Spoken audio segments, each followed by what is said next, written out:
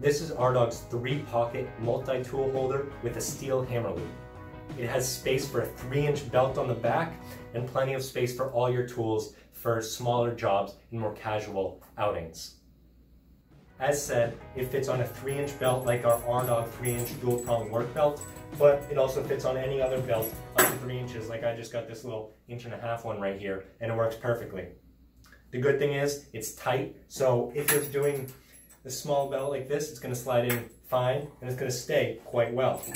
Our 3-inch work belt though is designed to be difficult to put in at first but for the reason that it fits perfectly with enough, giving it some force, but then it's going to stay right where you want it all the time, wherever that is, back right, front left, whatever. It's going to stay right there with something like a three inch work belt from R Dawg or other companies. Furthermore, the pockets, we designed them for different tools in mind. So you have your hammer holder, of course, steel so it doesn't rust, fit any large size hammer, like here. It's going to be nice where you want it.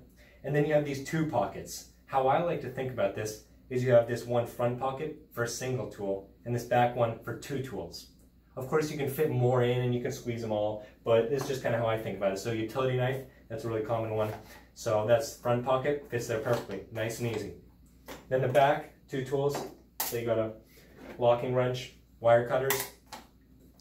Get those bad boys, just slide them in nicely.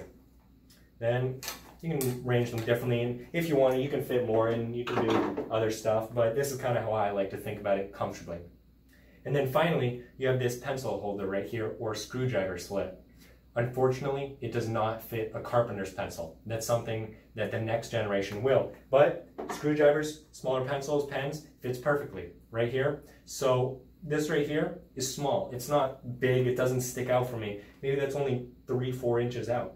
So on a smaller job, little residential, you're checking something out, even if you want to clip a tape measure to it too, you got everything you need. You can put a notepad, pencil, you're ready to go for the smaller jobs. That you still want to have your tools right here, but it's not obtrusive. You can still walk, you can get through the doorways, framing studs, no problem. It's a really great extra thing to have, even if you aren't going to be using it every day on the job or whatever you're using it.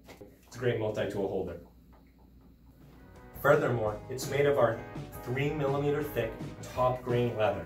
This is designed to last you a long time, and it's not just extra thin, it's not flimsy. If I had this flat, I can pinch it in the corner and it's not gonna bend. This leather is tough. You can take it, you can bend it, you can scratch it, and the good thing is over time, if it's taken care of properly, it's actually gonna mend to a nicer color, get even stronger, and perfectly mold to the, your tools so they are fully optimized, quick in, quick out, whatever you need. And it's just a great tool to have.